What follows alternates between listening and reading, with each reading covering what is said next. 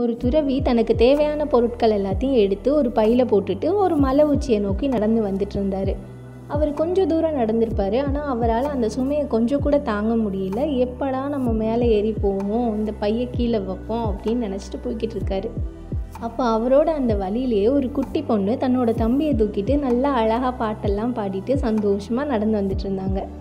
துறவிக்கு ரொம்பவே ஆச்சரியமாக போச்சு. எப்படி நம்மளால் இந்த ஒரு பையை தூக்கிட்டு நடக்க முடியல? ஆனால் இந்த பொண்ணு இவ்வளோ பெரிய பையனாக இருக்கான் இவனை எப்படி தூக்கிட்டு நடக்கிறாங்கன்னு.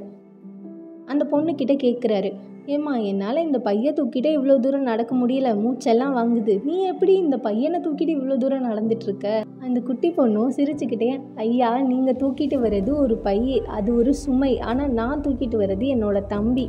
என் தம்பி எனக்கு எப்படி சுமையாக இருப்பாங்கன்னு அந்த பொண்ணு கேட்டாங்களாம். துறவிக்கு புரிஞ்சிச்சான் அன்பு எதை வேணால் சுமக்கும். எவ்வளோ பெரிய சுமையாக இருந்தாலும் அது சுமையாக தெரியாது அவங்களுக்கு அப்படின்னு.